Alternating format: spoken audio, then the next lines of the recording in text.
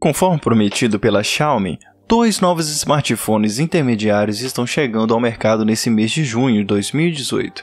O Redmi 6 e o Redmi 6A adotam um visual moderno de tela alta e bordas moderadas, sendo que o modelo mais caro também adere ao sistema de duas câmeras principais. Então, vamos comentar sobre essas novidades.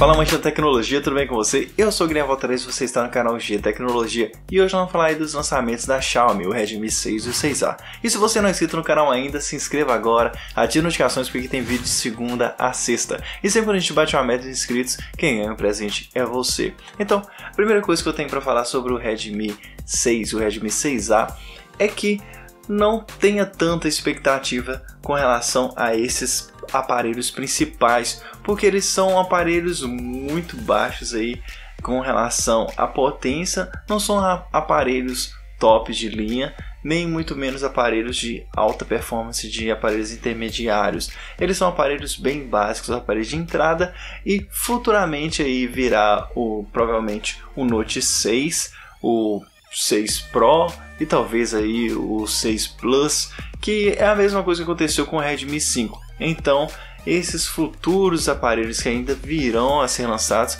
que deverão ter um processamento melhor. Então, vamos começar aí falando sobre o 6 e o 6A. A aparência do Redmi 6 é praticamente idêntica à versão anterior do Redmi 5, sem grandes novidades. Na frente, na parte superior, temos o speaker centralizado, a câmera e sensores. Na parte de trás superior, temos as duas câmeras, bem no canto esquerdo na posição horizontal, com a borda em volta deles, e do lado o flash. Um pouco mais abaixo, centralizado, temos a digital, e bem mais abaixo temos a marca Mi. Os botões de volume e power ficam no lado direito do aparelho. Ele vem nas cores cinza, azul, dourado e rosa. O Redmi 6 tem uma tela de 5.45 polegadas, uma resolução de 1440 por 720p, uma tela IPS HD. Ele tem um peso de 146 gramas, uma espessura de 8,3 milímetros. O seu sistema é a MIUI 9, ele tem um processador é um MTK Helio P22, um octa-core que roda 2.0 GHz. Ele tem duas versões, uma de memória RAM de 3 ou 4 GB, o armazenamento é de 32 ou 64 GB e suporta expansão em até 256 GB. E ele tem uma bateria de 3.000 mAh. Então a gente chegou na parte do processador, que é um Helio P22. Ele é um octa-core que roda 2.0 GHz. Então, todo mundo estranhou aí, mas voltou para Malitech. Que isso, Xiaomi? Se estava tão bom aí com o Snapdragon 625, será que acabou o estoque? Todo mundo começou a perguntar isso, mas eles aí na divulgação desse celular, eles disseram o porquê deles estarem utilizando o Helio P22. Então, vamos explicar por que, que eles estão usando. Verificado a performance da pontuação e benchmarks do Helio P22, eles são muito similares ao do Snapdragon 625 da norte-americana, Qualcomm. Segundo a marca, o um novo smartphone tem uma performance 27% superior ao do seu antecessor, o Redmi 5, mas ainda a face de processadores construídos a 28 nanômetros, o novo Helio P22 consome menos 48% de energia para executar a mesma tarefa. Ele tem uma câmera frontal de 5 megapixels com abertura de 2.2. Ele tem duas câmeras traseiras, sendo uma de 12 megapixels e outra de 5 megapixels também com abertura de 2.2. Filme em 1080p a 30 fps. Tem sensor de luz ambiente, gravidade, proximidade, bússola, giroscópio, Face ID e OTG. Ele está disponível no momento somente com a linguagem em chinês e em inglês, mas em breve estará lançando a versão global. Ele tem o cabo micro USB ainda, a saída para fone conta com saída para fone. É dual chip, tem conexão 4G e 3G, vão funcionar normalmente aqui no Brasil.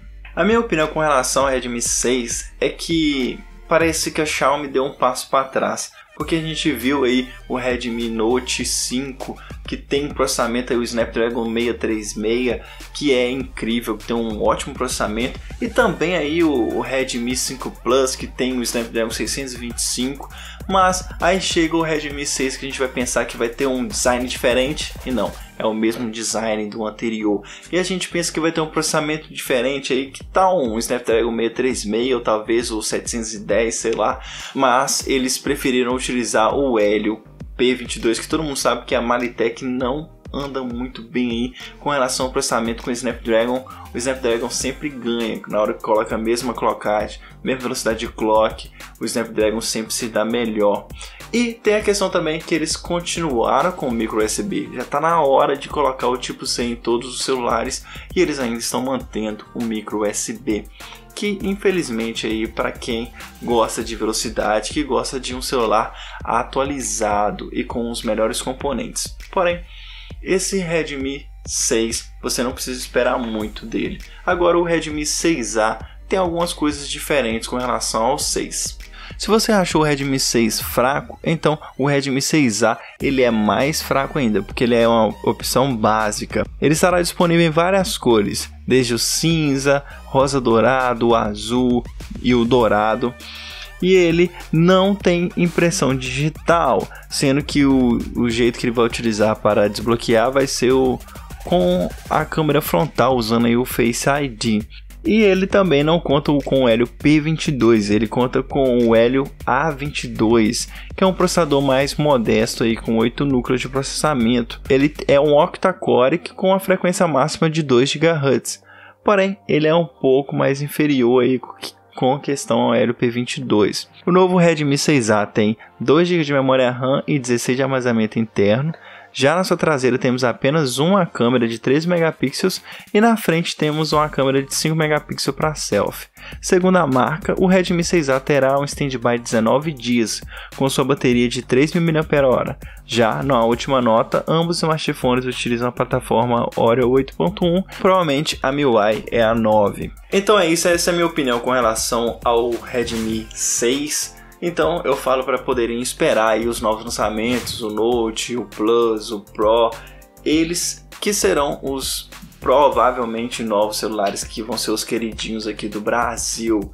E me fale aí nos comentários o que, é que você achou desses novos celulares da Xiaomi. E se você gostou deles também, quando eles estiverem disponíveis, os links deles estão aqui na descrição para você estar conferindo aí nos sites parceiros do canal. E se você comprar por esses links, você estará ajudando o nosso canal a crescer e a trazer mais conteúdo. Então é isso. Se você gostou, deixe sua curtida. Se inscreva no canal se não for inscrito. Ative notificações, porque aqui tem esse vídeo de segunda a sexta. E sempre quando a gente bate uma meta, quem ganha presente é você. Tenha juízo. Até o próximo vídeo. Abraços.